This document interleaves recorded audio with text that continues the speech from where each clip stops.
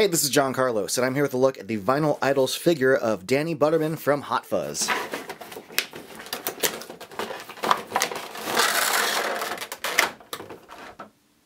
Now this figure does not stand good on its own. It falls over, but luckily it comes with a figure stand, but unfortunately the figure stand's plugs are a little too thick for the holes. It's the kind of thing where if it was just the one peg, you could still just like twist it into the hole, but you can't twist with two pegs. But for the sake of this review, I'm twisting them onto the one hole. Now, this looks freaking great. As a fan of Hot Fuzz, as a fan of Nick Frost, I love this. But also as a fan of the artwork at a large evil corporation, uh, I love their designs, and I love having this kind of design in 3D form. I think it's a great kind of representation of what I consider to be like kind of classic British stop motion animation kind of claymation looking characters. But as a design, I like this style for this series. I love seeing Nick Frost in this format, and I like the body dimensions here.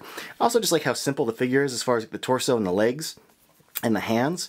But there are some pretty good details on here, like the stuff on his belt, even though there is some weird gluey schmutz on his pouch there. But the radio looks good. You know, the baton, the uh, the little like cuffs there on his pouch. And also, there's some pretty good details here, like, you know, on his uh, shirt, right there on the shoulder and whatnot. Um, but yeah, the tie looks good. The sculpt of his outfit looks good.